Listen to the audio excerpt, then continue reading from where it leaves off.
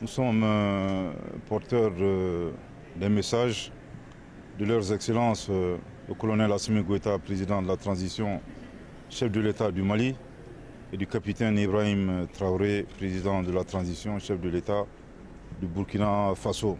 Message destiné au président du Conseil national pour la sauvegarde de la patrie, le général Tchani, ainsi qu'à l'ensemble du peuple frère du Niger, que nous remercions tous pour cet accueil très chaleureux et très convivial. L'audience qui nous a été accordée par euh, le président du Conseil national pour la sauvegarde de la patrie euh, a porté globalement sur euh, les principales décisions qui ont été prises par leurs excellences le colonel Asmi Goïta et son homologue du Burkina Faso, le capitaine Ibrahim Traoré, après les sanctions de la CDAO.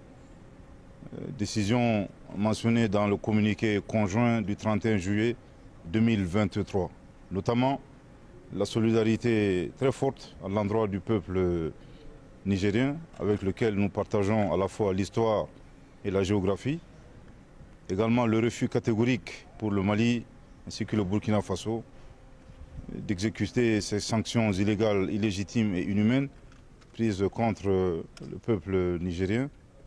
Et enfin, le plus important, c'est réitérer la participation active, effective et pleine du Mali et du Burkina Faso aux opérations de légitime défense en cas d'agression de la CDAO contre le Niger.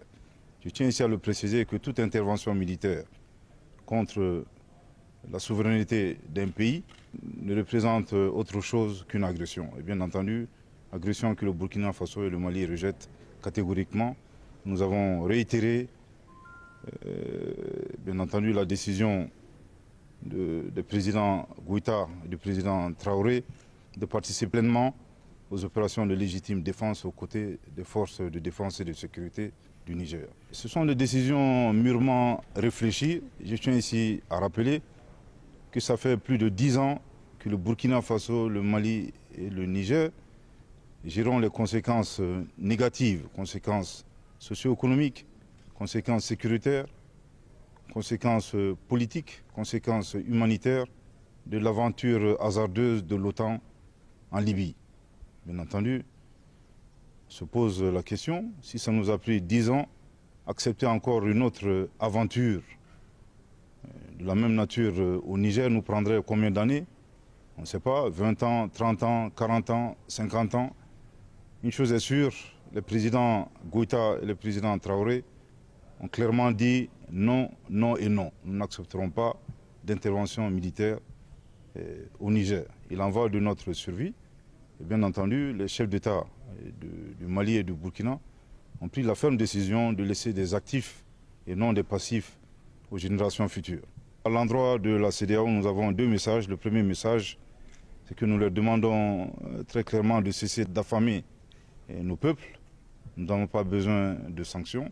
Je pense qu'il y a énormément accès de souffrance que nos populations traversent. Le deuxième message, qui est également un message euh, important, nous apprécions bien les ultimatums.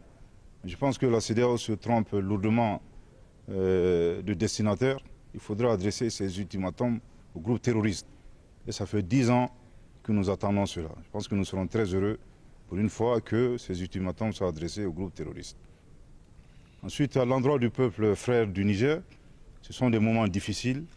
Le Mali et le Burkina Faso ont traversé des épreuves euh, similaires. Nous tenons à leur euh, euh, assurer très fermement de notre soutien et de notre solidarité.